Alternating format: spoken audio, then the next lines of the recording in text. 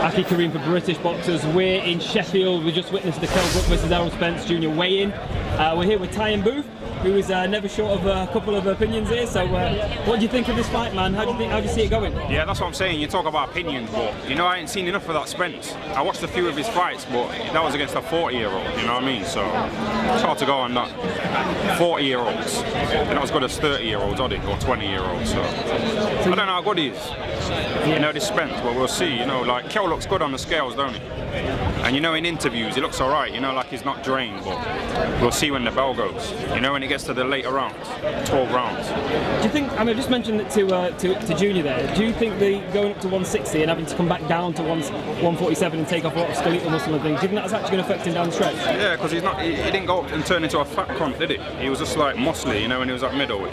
Yeah. So you know, to lose muscle was like, what's is that going to affect him or what? We'll find out again. I hope not. I hope not.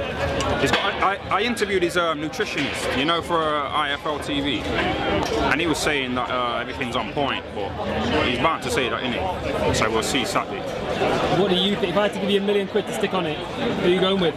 I could get kicked out of the gym, you know, if I say anything else. And I've got a fight tomorrow as well, so you know what I mean. I need to be sweet with them Ingles. But yeah, hopefully Kell, man. We'll see how it goes. All right, man. What about you? Are you one of them fence sitters? No, I don't sit on the fence. You I'm, sit on the for, I'm going for the chocolate brownie, baby. Yeah. All Well, day. I mean, Spencer's good, but You don't need to be he hasn't been tested yet, has he? No. Yeah, that's it, man. We'll see how it goes. Um, tell us about your fight tomorrow then, Tyan. You feel you're in good shape. You- You're getting out a lot more regular now, aren't you? Yeah, it's um, one of them last minute jobs. You know when you don't sell tickets, like Dave Allen. You have to take fights at like two days notice, you know, and stuff like that. It's ridiculous, but you have to sell tickets or you have to be a journeyman. You know, if you're in between, you're gonna struggle. So you have to try and fit into one of those two categories. So that's why I'm doing stuff like this, you know, coming here and trying to like whatever. I was I was interviewing as well, so you know, trying to get the profile up a little bit. Right. Well. I'm not from Sheffield, so it's hard to sell tickets here. You know what I mean? I'm from Nottingham. I seen you, a little Instagram video of you in a hotel room the other day. Just you know, Who was that? it was you, man. I got interviewed in a hotel. No, no, you were in a hotel room. It was before a fight. What was I doing in a hotel? You were just like saying, "Look at my hotel room." Is that what I did? I oh, in on the road Scotland. Yeah, Yeah, Scotland. yeah. Yeah, yeah. I had a little four-round exhibition about a, with a guy who was about two stone heavier than me. It was supposed to be a four-round exhibition, but he tried to kill me. He tried to murder me. But I was schooling. You're gonna, so you're gonna school this guy tomorrow, yeah? Hopefully, hopefully, yeah, hopefully, hopefully. You never know, do you? I could stand there and say I'd beat Mayweather, but talk is cheap. So again, we'll see when the bell goes.